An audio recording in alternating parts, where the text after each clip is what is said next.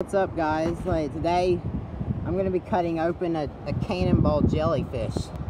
Now this one's already dead, so, and this is my brand new knife.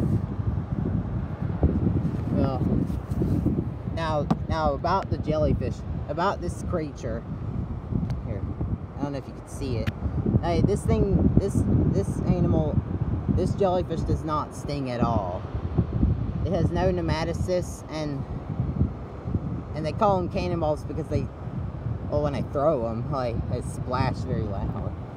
Well, but I got a Cabela knife here, and it's pretty cool. I got this from Bass Pro Shops too, and so let's cut it open. You'll mostly you want to. This one's already dead, so I want to go with the dead animal instead. So this thing's sharp enough to cut it open. So here we go.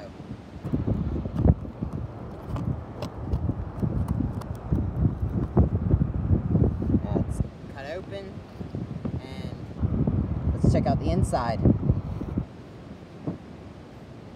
Look at that. Look at that. Look at that cut. It's a clean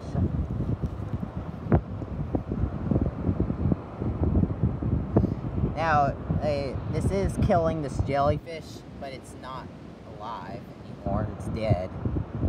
But I think those are the gonads. I, I don't know, but this is the ins this is the jellyfish body. Probably how the jellyfish functions. Look at that.